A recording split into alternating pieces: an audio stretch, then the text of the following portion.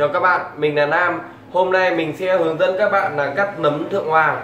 Đấy Đây là nấm thượng hoàng bên mình các bạn nhé Đấy, nào, bây giờ mình cắt này. Đầu tiên bạn cho mình hỏi là khi thái nấm thượng hoàng bạn có phải cắt nửa giống nấm linh chi không nhỉ? Cái nấm thượng hoàng này là không phải cắt nửa đâu bạn nhé Đấy là mình cứ đặt và mình cắt thôi Cắt như bình thường. Đấy. Khi mình uh, lên thái nhỏ nấm ra các bạn nhé Đấy, mình cái thái càng nhỏ càng tốt này. À, không lên ờ, thái to quá nếu mà thái to quá là lúc đun là nó lâu ra dưỡng chất từ nấm nhất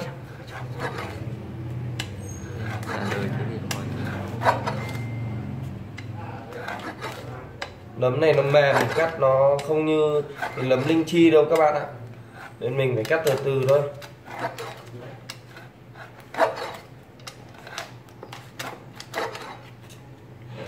Mềm nó rất là dai này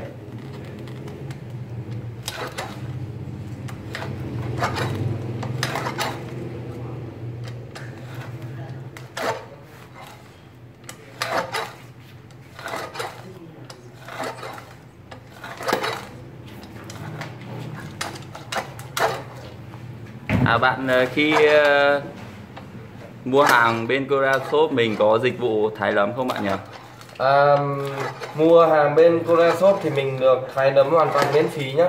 Và cước phí vận chuyển cũng không mất tiền. Đấy miễn phí hoàn toàn. Nên các bạn hoàn toàn yên tâm. Cốt ship tại nhà mới phải trả tiền cho các bạn nhé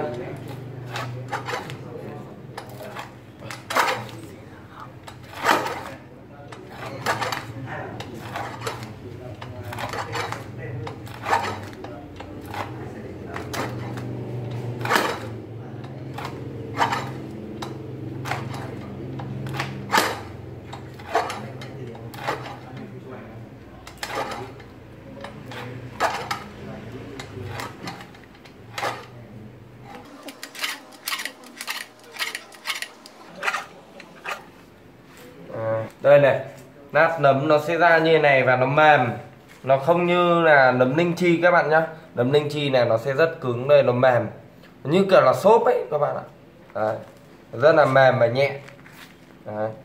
đây, những nát nấm mình vừa đã cắt ra này Đấy. và nếu các bạn mà ờ, có nhu cầu mua nấm thượng hoàng thì hãy ờ, truy cập website bên mình là koreashop24 giờ.com hoặc liên hệ với số điện thoại 0904 886 428. Xin chào các bạn.